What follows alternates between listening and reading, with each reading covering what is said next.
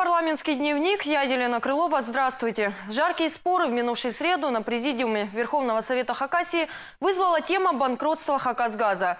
Напомним, предприятие пойдет с молотка и перспектива газоснабжения в республике остается размытой. Первое, в чем депутаты хотели бы увидеть ясность, каким образом компания, в которую несколько лет подряд вкладывались бюджетные деньги, оказалась на мели. В этом вопросе депутаты предлагают разобраться прокуратуре. Здесь вопросы о газоснабжении населения, перспективы, цены, оборудование, т.д. т.п. А собственно процесс этой банкротства организации, как же так, почему э, полста более чем процентов есть у Газпрома и у Хакасии, почему она обанкротилась? К чему это привело? Какие будут последствия? Какие чисто прямые потери госимущества республики от банкротства, которое пойдет сегодня с молотка за 3 копейки. Мы знаем, что сегодня оборудование Хакасгаза многомиллионное продается за рубли, за десятки рублей. Из-за банкротства Хакасгаза в республике появилась масса проблем. Заменить его на электричество проблематично. Проводка в газифицированных домах не может выдержать большой нагрузки. Да и люди отказываются пользоваться маленькими электроплитами, как советуют в Минрегионе. Вдобавок и другой путь решения заводит в тупик. Жильцы получили неожиданный подарок. Сказали, вот эти вот э, газгольдеры стали нашей собственностью. Вдруг. И что они требуют ремонта, а ремонт стоит от миллиона до трех.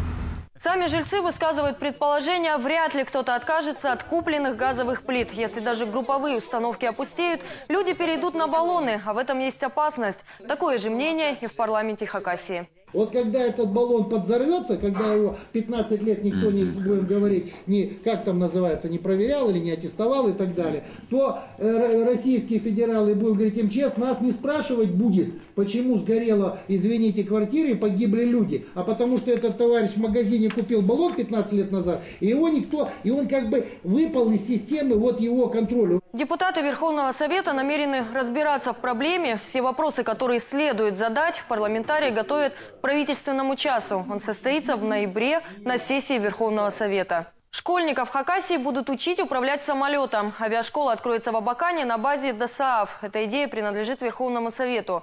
Парламентарии подчеркивают, попробовать себя в роли пилота смогут дети со всей нашей республики и из Тувы. Школа будет одна на два региона это исторически сложилось, что во время войны здесь, вы знаете, в Черногорске была летная школа, которая подготовила очень э, большой объем летчиков. Многие из них стали э, героями Советского Союза.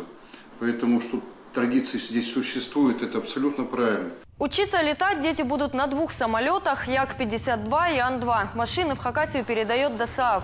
Они не новые. Ремонт готовы финансировать с трех сторон. Федеральный центр, Хакасия и ДОСААФ. Очень серьезный разговор прошел. Первые лица, во всяком случае, об этом говорили. И сейчас э, обозначены конкретные люди, конкретные лица, которые начинают заниматься проработку деталей. Каким образом и на базе чего создать э, вот такую школу.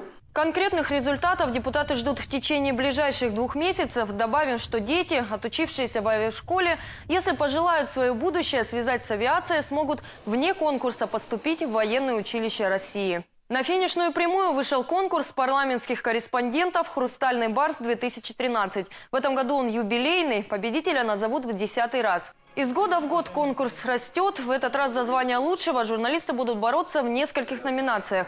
Лучшего парламентского корреспондента выберут в газетах, информагентствах, интернет-СМИ, на радио, телевидении, а также назовут лучшую редакцию парламентского партнера.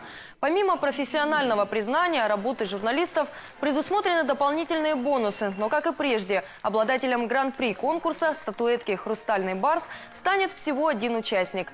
Заявки уже поступают и стоит поторопиться. Прием закончится 21 ноября.